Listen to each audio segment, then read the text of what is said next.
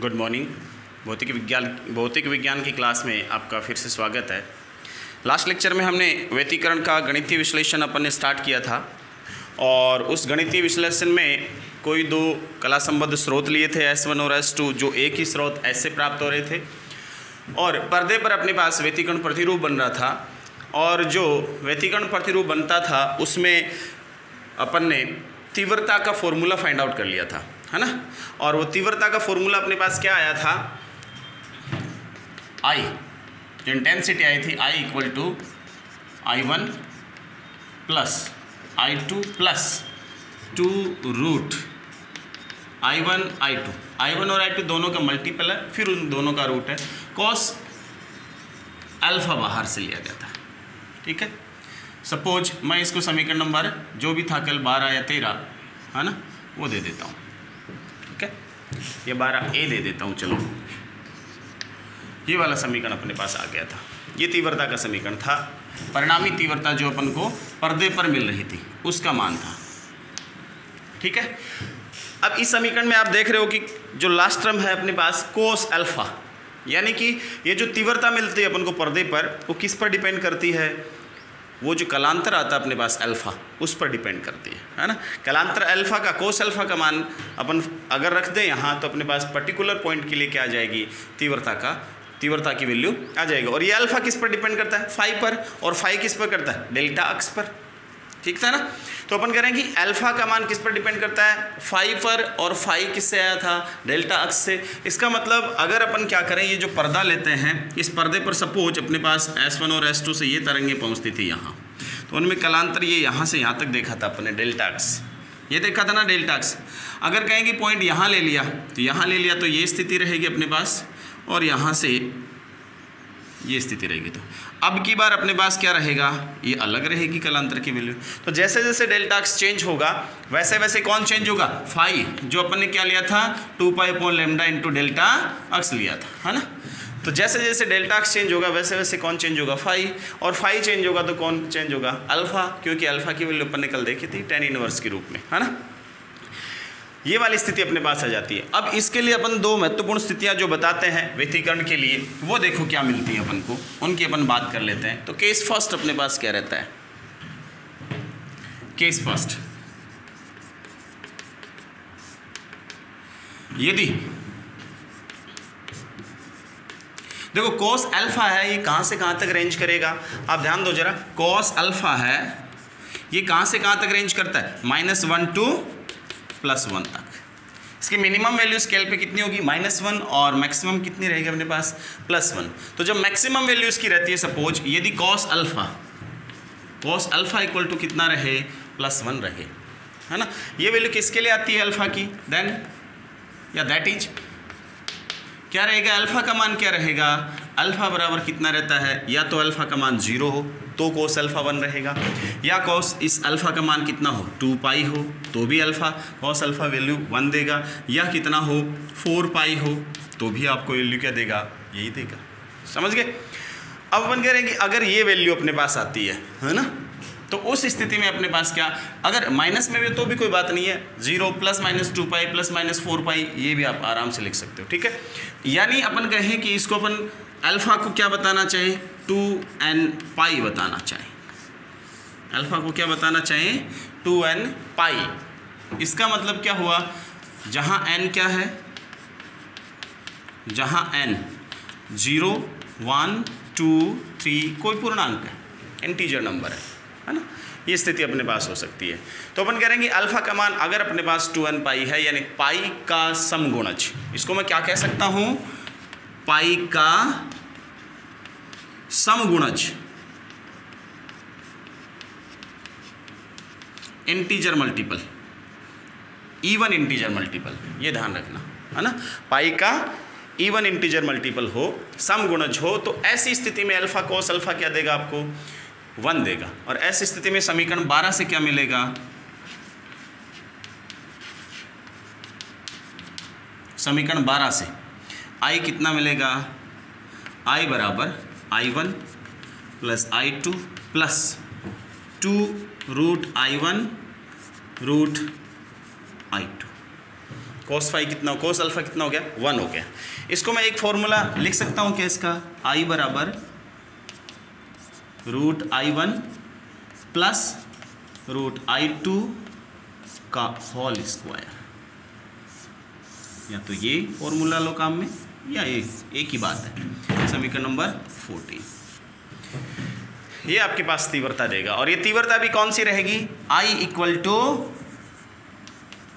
I equal to I maximum क्योंकि cos alpha का मान अधिकतम लिया अपन ने तो आई मैक्स कितनी हो जाएगी? मैक्सिमम तीव्रता का मान ये अपने पास आएगा।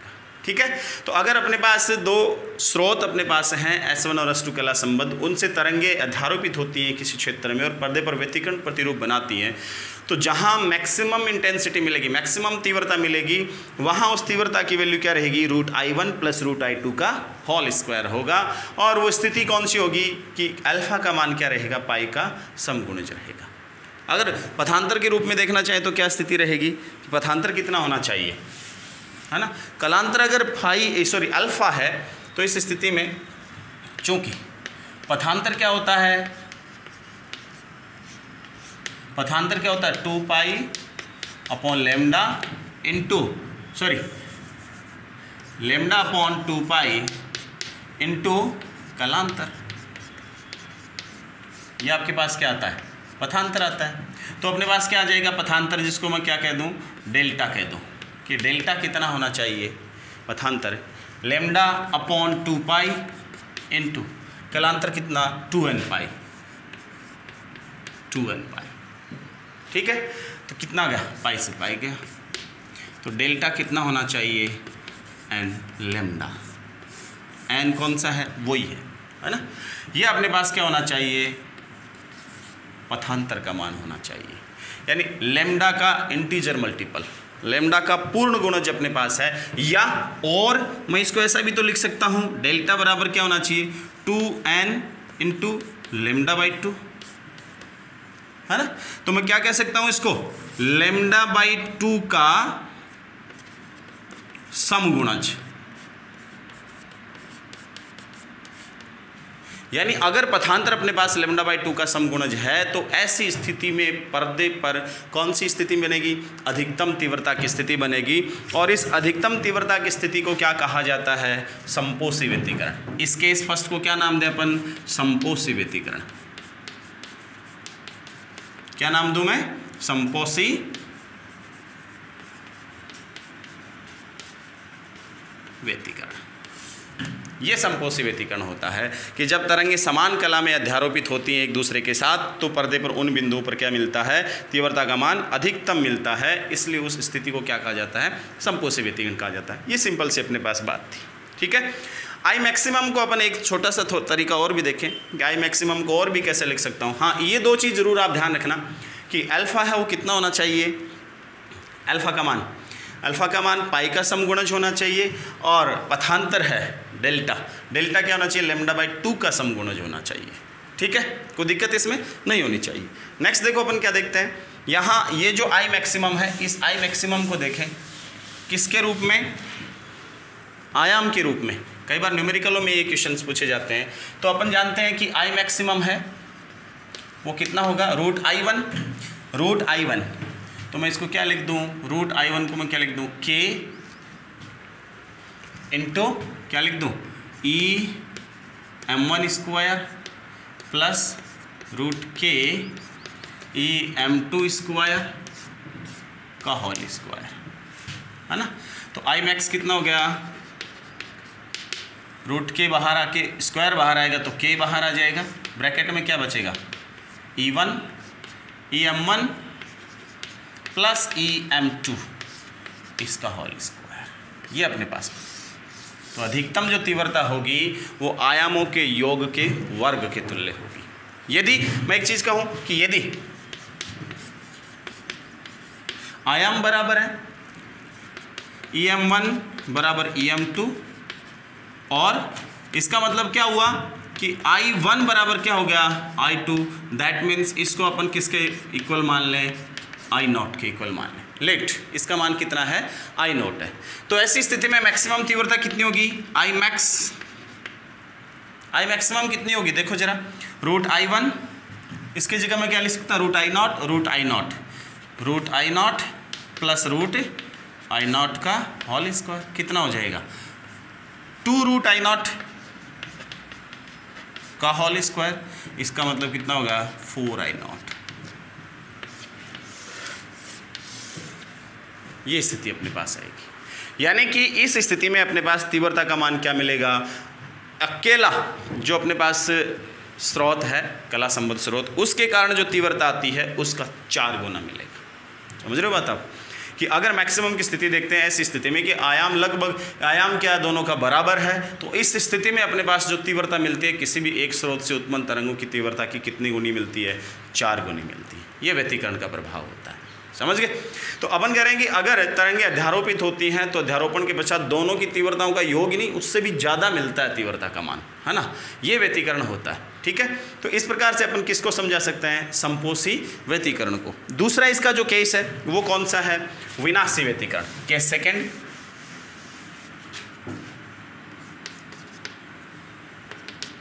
केस सेकेंड वो देखो क्या है।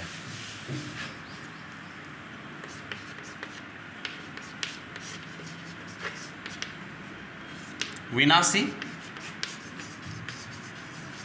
व्यतीकरण डिस्ट्रक्टिव इंटरफेरेंस पहले वाला कंस्ट्रक्टिव इंटरफेरेंस बोला जाता है इंग्लिश में। हाँ यदि अपने पास क्या स्थिति हो, यदि अपने पास कॉस अल्फ़ा कितना हो माइनस वन हो, या दैट इज़ इसका अल्फ़ा का मान कितना हो माइनस वन कब होगा ये? जब इसका मान कितना होगा पाई होगा थ्री पाई होगा फाइव पाई होगा एंड सोन देखो, यह माइनस भी कंसिडर करना है। ध्यान रखना, आपको मैंने लिखा नहीं है उसमें पहले वाले में भी। आराम से आप इसको कंसिडर कर सकते हो। प्लस माइनस पाई हो, चाहे प्लस माइनस थ्री पाई हो, चाहे प्लस माइनस फाइव पाई हो। उसमें भी आप क्या करोगे? अल्फ़ा का जो मान दोगे, वो plus minus two N pi लोगे, है ना? अपने लिखा नहीं है प्लस माइनस कोई बात नहीं। बताया है कि भाई प्लस माइनस दोनों ही ले सकते हो आप स्केल पे। कोई दिक्कत नहीं है इसमें, है ना? कलांतर की वैल्यू अपन को चाहिए वहाँ पर। है ना? तो यहाँ देखो प्लस माइनस पाई हो चाहे प्लस माइनस थ्री पाई हो चाहे प्लस माइनस फाइव पाई यानी पाई का क्या है? एक, तीन, पाँच, सात, विषम गुणज। पाई का क्या है? विषम गुणज। यानी कि अल्फ़ा कितना हो सकता है? Two N minus one pi अब आप कहोगे, सर, यहाँ माइनस वन ही क्यों लिया? प्लस वन क्यों नहीं लिया? हाँ ले सकते हो। और मैं इसको ऐसे भी तो लिख सकता हूँ अल्फ़ा बराबर two N plus one pi लेकिन ध्यान रखना ये एन उतना लेना है कि पहला कितना है? कलांतर का मान पाई आए तो क्या एन बराबर वन ले लूँ? है ना? तो दो गुणा वन माइनस वन पाई आ जाएगा। तो वेयर हियर एन कितना होगा? One, two, three, four. इस केस में। अगर टू एन माइनस वन लेते हो आप तो। इस केस में क्या हो जाएगा? Here N equal to zero one, two, three dot dot dot क्योंकि एन ज़ीरो लेते ही पाई आ जाएगा अल्फ़ा की, जो पहली वैल्यू है। ठीक है? ये वाली स्थिति अपने पास आती है। तो पाई का क्या होना चाहिए?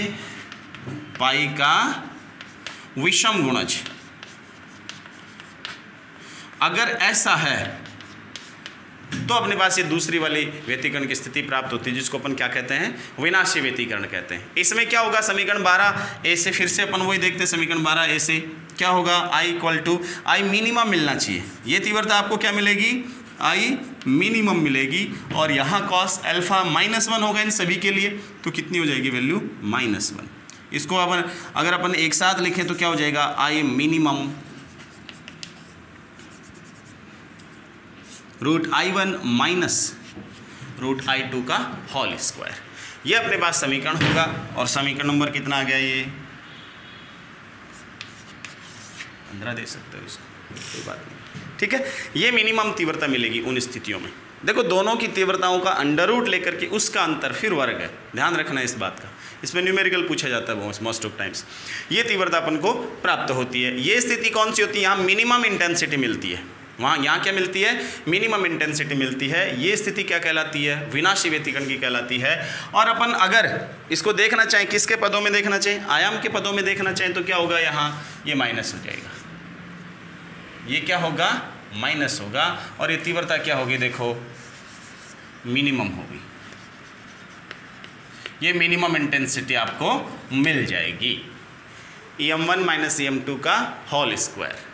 इसके प्रोपोर्शनल रहेगी आपके पास इंटेंसिटी अगर अगर अपन फिर से वही बात करें कि अगर दोनों का आयाम का मान बराबर होता, हम कहते थे ना कि आयाम क्या लेना है दोनों का? बराबर लेना है। क्यों लेना होता है? उसमें क्या होता है? देखो ये चीज़ आपको यहाँ क्लियर होगी एकदम से कि ई एम वन बराबर ई एम टू ले लिया या ई नॉट ले लिया। सपोज़ या आई वन बराबर आई टू बराबर आई नॉट ले लिया। तो इस स्थिति में ये देखो क्या मिलेगा आपको। I naught root I naught minus root I naught I minimum कितना मिलेगा?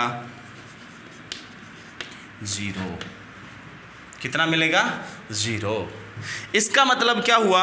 इसका मतलब ये हुआ कि जो विनाशी व्यतीकरण वाली स्थिति है, वहाँ इंटेंसिटी इस केस में, जब आयाम बराबर होते हैं, क्या मिलती है? क्लियरली ज़ीरो मिलती है। अगर आयाम बराबर नहीं हो, मान लो तो अपने पास ये स्थिति है ही ना? है ना? ये ओरिजिनल स्थिति अपने पास है root I one minus root I two का होल स्क्वायर दोनों का डिफरेंस जो भी होगा अंडर रूट का, वो आपको मिलेगा। है ना? तो क्लियरली ज़ीरो तो नहीं मिला। इसलिए कुछ ना कुछ तो प्रकाश वहाँ मिलेगा और मैक्सिमम की जगह मैक्सिमम मिलेगा। लेकिन दोनों में देखो मैक्सिमम इंटेंसिटी है मिनिमम इंटेंसिटी थोड़ा डिफरेंस तो लेकिन क्लियर पिक्चर नहीं मिलती। इसलिए अपन कहते हैं कि जब तक आयाम बराबर नहीं लेते हैं अपन लगभग तो ऐसी स्थिति में अपन को जो व्यतिकरण प्रतिरूप मिलता है, वो एकदम से कॉन्ट्रास्ट उसका अच्छा नहीं मिलता।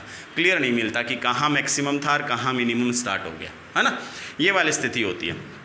अब ये स्थिति आप देख रहे हो कि मिनिमम अपने पास कितनी मिलती है? आयाम बराबर होने की स्थिति में ज़ीरो और मैक्सिमम कितनी मिलती है? किसी एक स्रोत के कारण इंटेंसिटी की चार गुनी मिलती है। है ना? ये नई घटना थी। अब देखो क्या होता है। इसमें इस तीव्रता वितरण को अपन अगर देखना चाहें तो क्या मिलेगा आपको? एक न्यूमेरिकल प्रॉब्लम आपको इससे पूछी जाती है मोस्ट ऑफ़ टाइम्स वो न्यूमेरिकल क्या रहती है?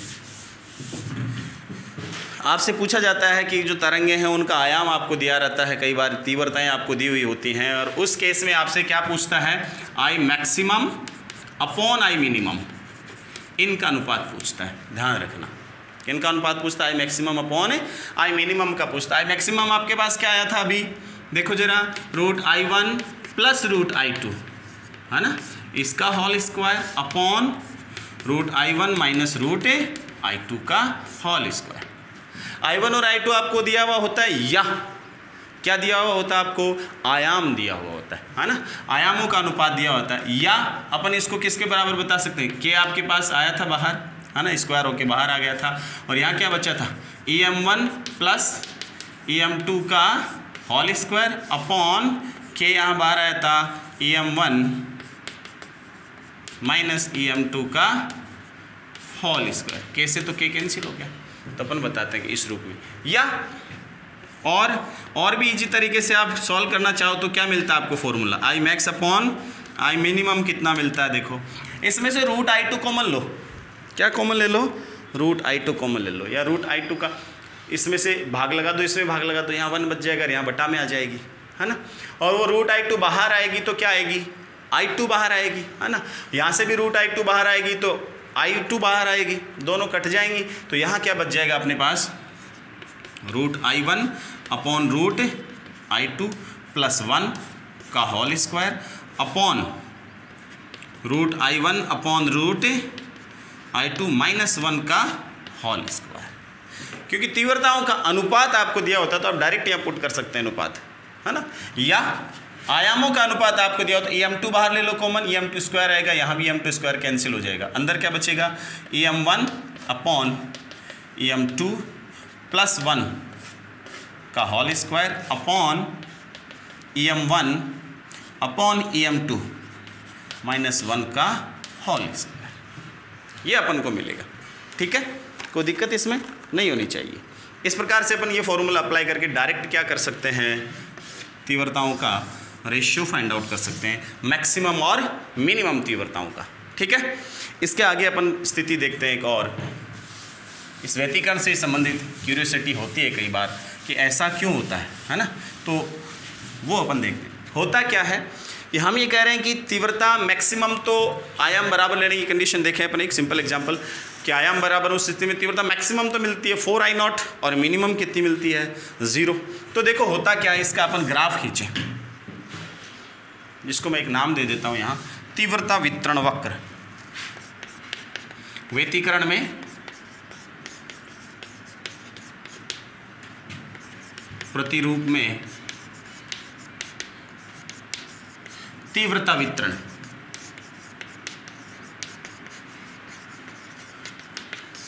किस प्रकार से तीव्रता वितरण होती है? उसको अपन ग्राफ के द्वारा देखते हैं। किसके द्वारा देखते हैं? ग्राफ के द्वारा देखते हैं। देखो क्या मिलता है आपको। तीव्रता जो मिलती है, इस तरह से मिलती है।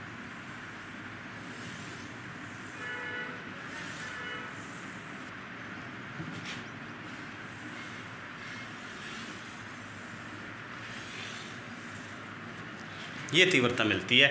इस एक्सिस पे अपन क्या ले रहे हैं? आई ले रहे हैं इंटेंसिटी ले रहे हैं तीव्रता, और इस एक्सिस पे क्या ले रहे हैं अपन? अल्फ़ा ले रहे हैं। जो कलांतर वाली स्थिति है। मिड पोजीशन ज़ीरो है अल्फ़ा का मान। यहाँ कितना है? पाई यहाँ कितना है? टू पाई यहाँ कितना है? थ्री पाई यहाँ कितना है? फोर पाई यहाँ कितना है? फाइव पाई एंड सॉन इस साइड स्केल के देखोगे तो माइनस पाई बताया था ना कि माइनस पाई भी ले सकते हो, आपको दिक्कत नहीं है। एक ही बात मिलेगी आपको। टू पाई ये थ्री पाई माइनस के हैं ये। है ना? ये माइनस का फोर पाई ये माइनस का फाइव पाई एंड सॉन ये जो मैक्सिमम मान मिलता है ना, तीव्रता का ये मैक्सिमम मान। है ना, ये समान आयाम की स्थिति में क्या मिलता है इसका मान? Four I naught. क्या मिलता है? फोर आई नॉट मिलता है और यहाँ क्या मिलता है? ज़ीरो मिलता है। है ना? इन दोनों का औसत मान देखें। एवरेज वो कितना? कितना होगा? Four I naught plus zero upon two. कितना आना चाहिए? Two I naught. ये एवरेज वैल्यू आपको मिलेगी। है ना? बीच वाला।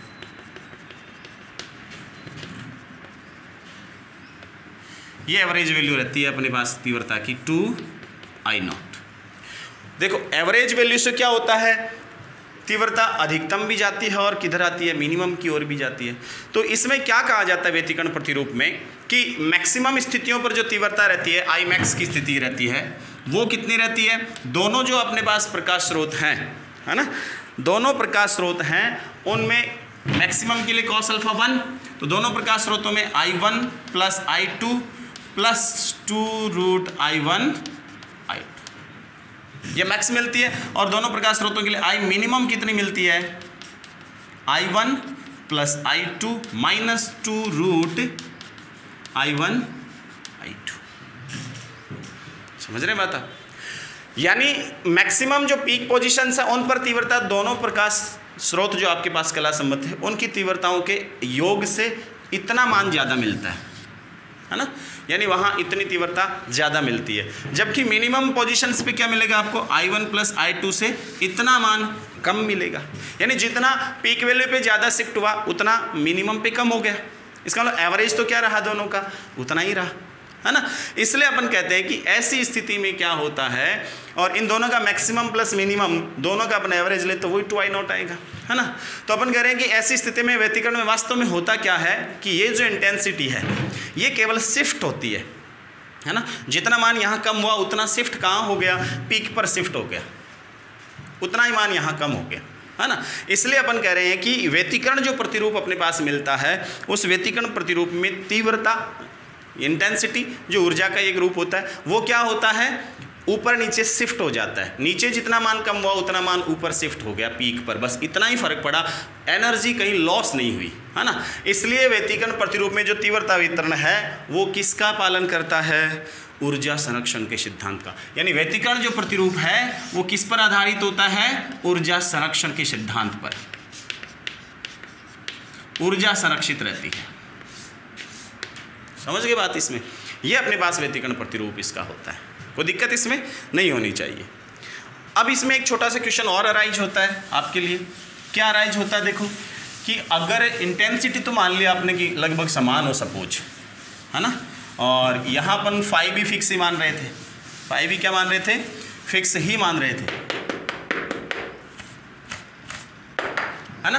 तो अगर ऐसा हो कि ये कलांतर बदलता रहे कलांतर क्या हो दोनों प्रकाश स्रोत से आने वाली तरंगें। अपन ने कहा कि कला संबद्ध होनी चाहिए। अगर नहीं हो तो क्या होगा?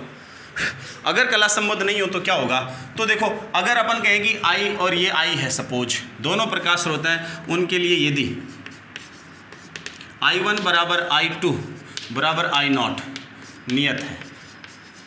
मान लिया अपन ने, है ना? यानी दोनों के आई नॉट क्या है? समान है। और उसकी वैल्यू सपोज़ कांस्टेंट अपने पास, नियत वैल्यू है, कोई। है ना? अब अपन कह रहे हैं कि अल्फ़ा क्या हो रहा है? चेंज। अल्फ़ा क्या हो रहा है? चेंज हो रहा है। तीव्रता दोनों की समान है और अल्फ़ा क्या हो रहा है? चेंज हो रहा है। ऐसी स्थिति में आपको कैसा व्यतीकरण प्रतिरूप मिलेगा? देखो क्या होगा ऐसी स्थिति में। देन आई कितना होगा? आई बराबर I naught plus I naught plus two root I naught I naught cos alpha. Alpha change हो रहा है, इसलिए कॉस अल्फ़ा भी क्या होगा? चेंज होगा। तो ऐसी स्थिति में क्या होगा? आई बराबर, ये टू आई नॉट ये भी I naught two I naught common आ गया। यहाँ क्या बच गया? वन और यहाँ क्या बच गया? Cos alpha. कॉस अल्फ़ा का जो फॉर्मूला होता है, उसमें माइनस वन आता है, वो देखो, क्योंकि प्लस वन इसके साथ है तो क्या होगा? आई बराबर two I naught one plus cos alpha. Two cos square alpha by two minus minus minus cancel I का मान कितना बच गया? आई का मान टू आई नॉट और टू ऑलरेडी अंदर है तो कितना हो गया? Four I naught cos square alpha upon two चूँकि देखो अल्फ़ा चेंज हो रहा है। अल्फ़ा क्या हो रहा है? चेंजिंग है परिवर्तित हो रहा है। तो ऐसी स्थिति में अपने पास तीव्रता है, वो फिक्स नहीं मिलेगी। वो भी क्या मिलेगी? चेंज होती हुई मिलेगी। और ऐसी स्थिति बहुत ज़्यादा चेंज नहीं होगा। और ऐसी स्थिति में क्या होगा? इसका एवरेज वैल्यू अपन देखना चाहें कि एवरेज कितना रहेगा। तो ऐसी स्थिति में देन आई एवरेज कितना रहेगा? इसको मैं ऐसे भी लिख दूँ। आई एवरेज कितना रहेगा? फोर आई नॉट और ये जो cos square alpha point two है, इसका एवरेज आप जानते हो कॉस स्क्वायर थीटा का एवरेज कितना होता है? हाफ़ है ना? आप जानते हो चूँकि कॉस स्क्वायर थीटा इसका एवरेज कितना होता है? हाफ़ एक पूरे चक्कर के लिए। तो यहाँ आई एवरेज कितना हो जाएगा अपने पास? Four I naught into one by two तो आई एवरेज कितना मिलेगा अपन को? टू आई नॉट जो कि वास्तव में एवरेज वैल्यू ही है। इसका मतलब जो तीव्रता मिलेगी इस स्थिति में, वो एवरेज वैल्यू के जस्ट अगल बगल मिलेगी। एवरेज वैल्यू की क्या मिलेगी? जस्ट आसपास मिलेगी, यानी लगभग एवरेज सा ही मान तीव्रता का देखने को मिलेगा। जब तीव्रता एवरेज सी मिल रही है सब जगह तो व्यतीकरण थोड़ी हुआ। व्यतीकरण में तो स्पष्ट दिखता है variation maximum minimum maximum minimum दिखता है आपको। इसलिए कलांतर अगर समय के साथ बहुत तेज़ी से परिवर्तित होता है तो इस स्थिति में क्या होता है? इस स्थिति में अपने पास व्यतीकरण प्रतिरूप स्पष्ट दिखाई नहीं पड़ता अपन को। लगभग एक समान सा प्रकाश अपन को क्या होता है? दिखाई पड़ता है। ये अपने पास व्यतीकरण की क्या थी? गणितीय व्याख्या थी। अब नेक्स्ट क्लास में अपन क्या देखेंगे? इस व्यतीकरण के लिए जो फ्रिंजें अपन को मिलती हैं, व्यतीकरण फ्रिंज जिनको अपन कह रहे थे, उन व्यतीकरण फ्रिंजों की चौड़ाई कितनी होती है और किस प्रकार की होती है, वो अपन देखेंगे, ठीक है? एक एग्ज़ाम्पल देख लेते हैं कि किस प्रकार से क्वेश्चन आपको पूछा जाता है। नॉर्मली सपोज़ एक एग्ज़ाम्पल लेते हैं कि आपके लिए जो दो प्रकाश स्रोत दिए गए हैं आपको कितने प्रकाश स्रोत दिए गए हैं? दो प्रकाश स्रोत दिए गए हैं और आपसे ये कहा जा रहा है कि वो लगभग कला संबद्ध है। दो प्रकाश स्रोत वो कैसे हैं? कला संबद्ध प्रकाश स्रोत हैं और उनसे उत्पन्न आयामों का अनुपात ई एम वन अनुपात ई एम टू यह आपको कितना दिया गया? सपोज़ तीन अनुपात, एक दिया गया। है ना? आपसे कहा जाता है कि आपके पास आयामों का अनुपात, तीन अनुपात, एक है। तो इस स्थिति में आपको क्या फाइंड आउट करना है? आपसे कहता है कि अधिकतम व न्यूनतम तीव्रताओं का अनुपात किसका अनुपात? अधिकतम व न्यूनतम तीव्रताओं का अनुपात आपसे पूछता है ऐसी कंडीशन में। हमने अभी फॉर्मूला देखा था। क्या देखा था? कि I max upon I minimum क्या था? अपने पास रूट ऐसे आया था देखो root I one upon root I two plus one का whole square upon root I one upon root I two minus one का होल स्क्वायर ये तो किसके रूप में था? तीव्रताओं के रूप में। अगर तीव्रताओं का अनुपात दिया होता तो। और आयाम का रूप देख रहे तो, तो अपने पास क्या मिल रहा था? E M one upon root E M two plus one का whole square upon root E M one ये थोड़ी था। आयामों का अनुपात। E M one upon E M two direct E M one upon E M two minus one का whole square इनका मान दिया गया है। ये रहा। रख दो मान। कितना? तीन ई एम वन तीन ई एम टू वन है अपने पास। तो तीन ई एम वन का मान बट्टा ई एम टू का मान एक प्लस वन का होल स्क्वायर अपॉन तीन बट्टा एक माइनस वन का होल स्क्वायर कितना? तीन और एक चार, और ये दो माइनस तीन माइनस वन दो। कितना हो गया? चार का होल स्क्वायर अपॉन दो का होल स्क्वायर सोलह बट्टे चार। ठीक है? तो कितना हो गया? चार अनुपात एक। ये आपके पास वैल्यू आ गई ठीक है? ऐसे आपको तीव्रताओं का मान दे सकता है और क्या कर सकता है? पूछ सकता है कि मैक्सिमम और मिनिमम तीव्रताओं का अनुपात कितना होगा। ठीक है? धन्यवाद।